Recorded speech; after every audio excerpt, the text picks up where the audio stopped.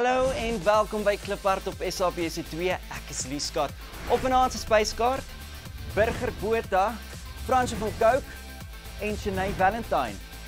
En dan Diana en Wiekus, julle kan so lank reg sit want ons speel 'n bietjie later julle video. En hier is daai seksie nommertjie deur Dirk van die Westhuizen wat ek vroeër van gepraat het. Kom wees 'n bietjie sexy vir my. Dans 'n bietjie brandspaan, 'n bietjie sê die quiero vir my. Vier woorde jy kry en verloor ek sleep vir jou. My laat die laat die laat dit so maklik lyk. Benten, die anti-Sutter Benten. Sy soek op binten. Een jong oudje. Hou me vas, hou my om my heupe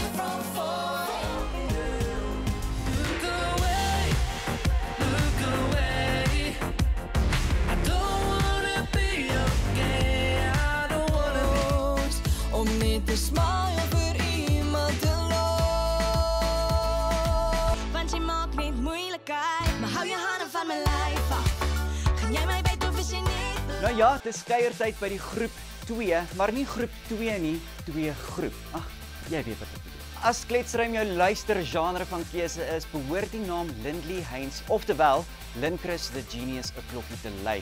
Kliphard het vir hom gaan kuier. Hy het reeds verskeie programme op 5FM aangebied, 'n DJ van formaat wat selfs al vanaf Ibiza, New York en Miami uitgesaai het. Ek praat van Roger Good en Kliphard het hom gaan kuier.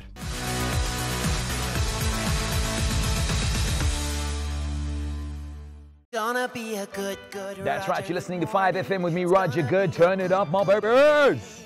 You can't expect the unexpected. Will soon be coming your way. If your mama's listening, it's going down. Have you met my uh, work husband? His name's Robbie. We're, I uh, wear the pants in this relationship. He's never made me tea, coffee, or anything at this place, ever.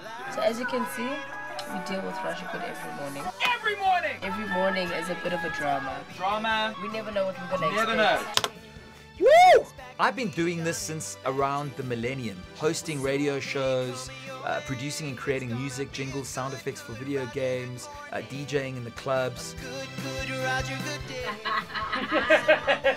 And I, I found after doing this for 20 years that as long as people are having a good time, if even for a moment, if they tune into you and they can switch out of their daily lives, you know, escape from the mundane and have a good time, that's the magic.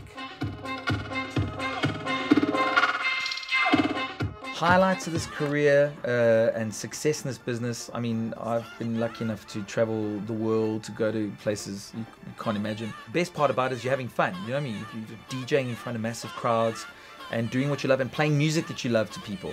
So you can't complain. It's pretty cool.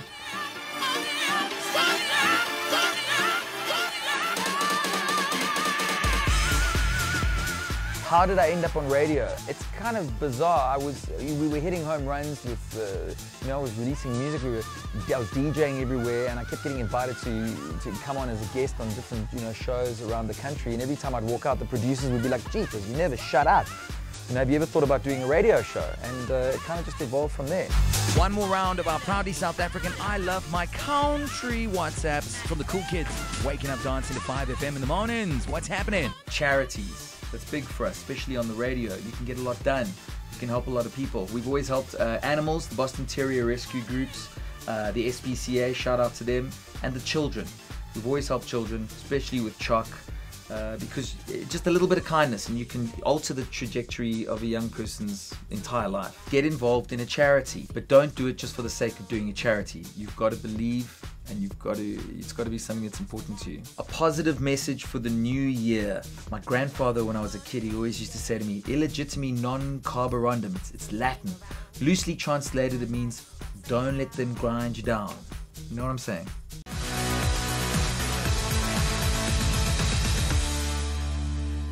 En jy's terug by Kliphard. Net voor ons weggebreek het, het ek 'n vraag oor 'n DJ gevra. Sy naam is Avicii en hy los 'n groot leemte in die wêreldmusiekbedryf. Ter nagedagtenis speel ons nou vir jou een van sy gewildste liedjies, een van my gunstelinge, Wake Me Up.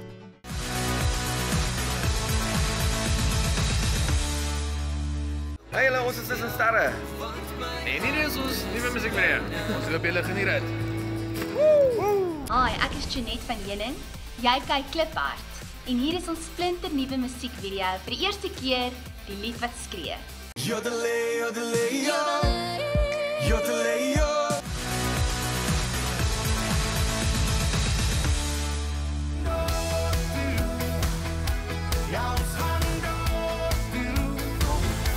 Bly nog 'n bietjie stywer, vas wil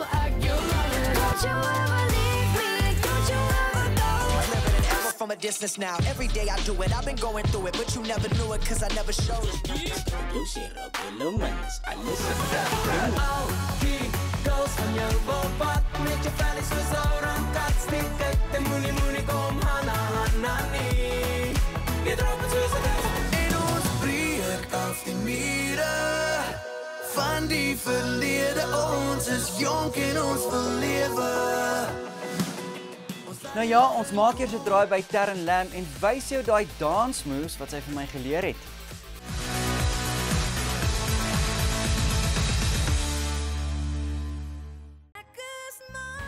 Die land gons behoorlik oor haar heel eerste Afrikaanse Engelsnit mal oor jou en ek is mal oor jou. Oh. En vandag kuier ons hier so by Dance Art Dance Center in Hatfield. Mense ken jou as sangeres en aktrise, maar wat min weet is jy het eintlik begin met teaterwerk. Ek het um, ek het eintlik drama, musical theater en dans geswat by die Waterfront Theaterskool.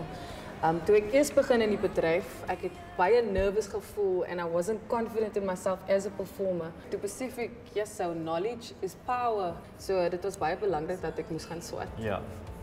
Dankie.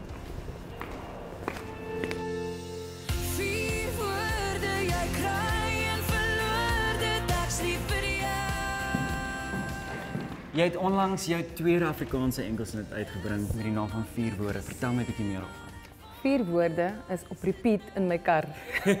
all the time, all the time. I love singing love songs in daai song in particular.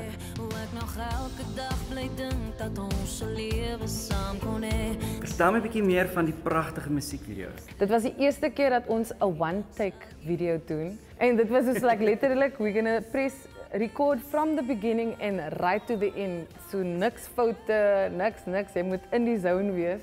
En ek was baie gelukkig want ek het met eh, Jack Louis Snyman gewerk. Um hy is 'n ongelooflike danser en ek sien jy is baie mooi aangetrek vandag soos like Danny Zuko in Greece en ek voel so Sandra Dee.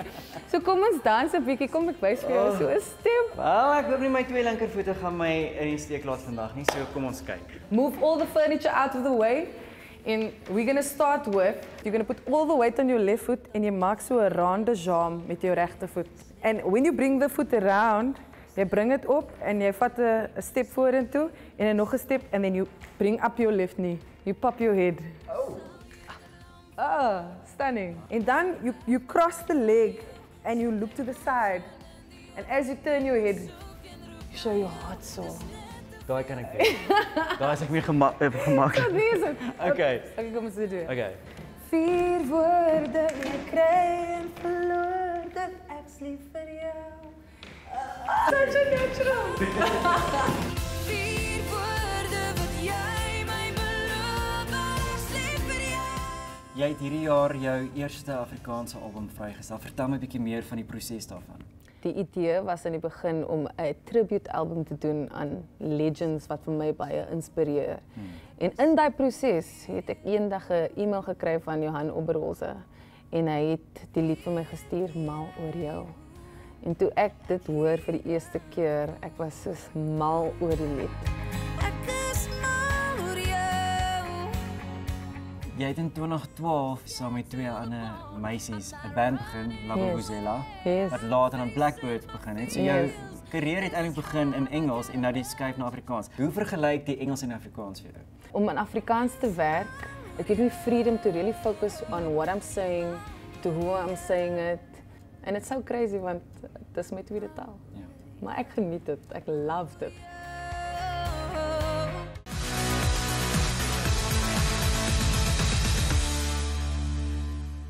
Indien jy nou net eers by ons aangesluit het, jy is by Kliphard op SABC2. Kom ons kyk wat die mense op Kliphard klets te sê het.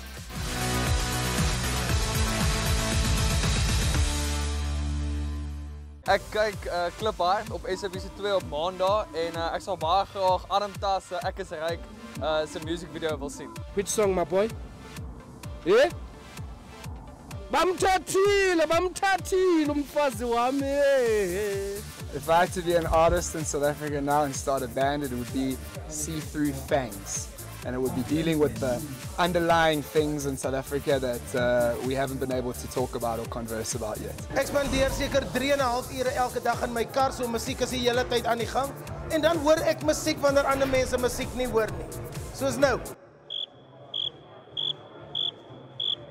So ek het musiek in my hart. According to me, what makes a song a hit is the artist. For me, it would have to be the instrument.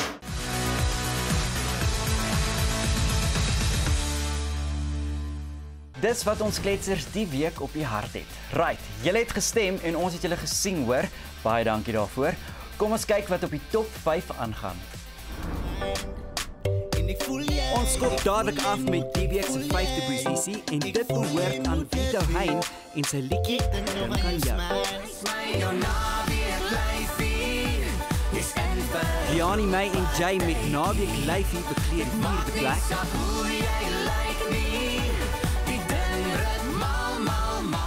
Op nommer 3 kraai die Flues en Dirk van der Westhuizen se tennis tune Koning.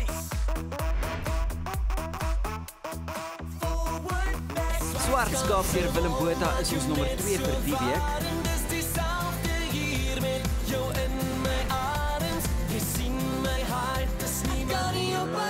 En nou vir die liedjie waarvoor die meerderheid kykers gestem het. Dis Frange Du Plessis op nommer 1 met 'n kan nie op haar kyk. Daar het jy dit, jou klippar kykers tot 5.